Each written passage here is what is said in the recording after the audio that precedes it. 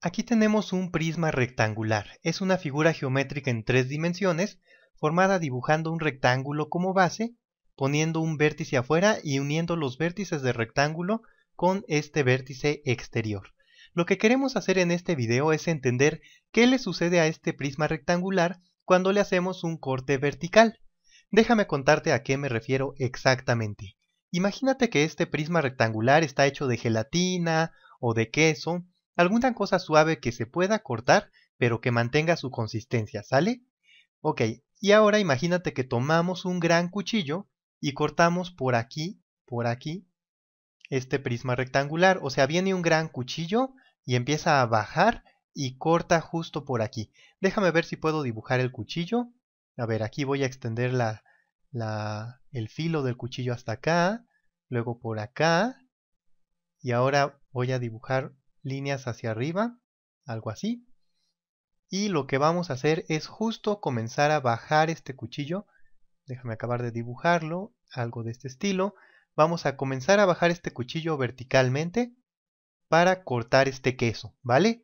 Entonces conforme baja, baja, baja, baja, baja, baja, va a ir atravesando el queso y al final se va a caer una parte del queso y lo que nos interesa es qué figura queda en el queso, es decir, cuál va a ser la figura que queda en el queso justo en este lado de acá, ¿vale? Y eso va a ser una figura en dos dimensiones, justo porque el cuchillo es una figura de dos dimensiones, lo podemos pensar como un plano, ¿vale?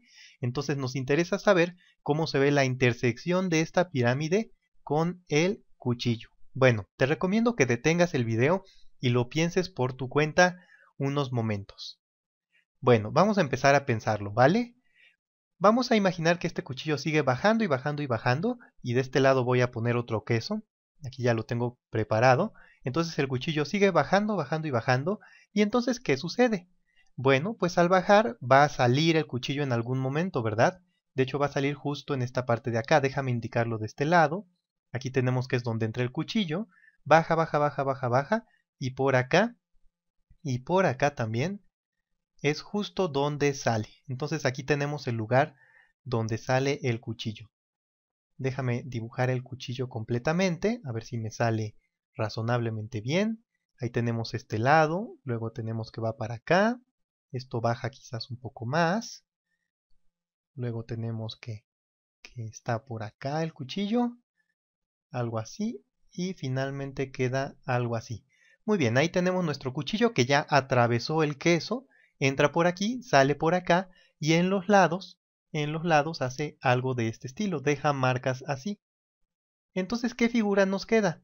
Bueno, pues aquí tenemos los cuatro vértices y los lados, déjame ponerlos con otro color, nos quedarían más o menos así, algo de este estilo.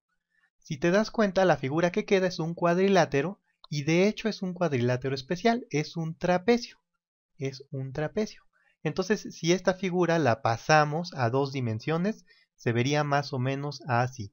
Tiene dos lados paralelos, este une con este de acá y este une con este de acá.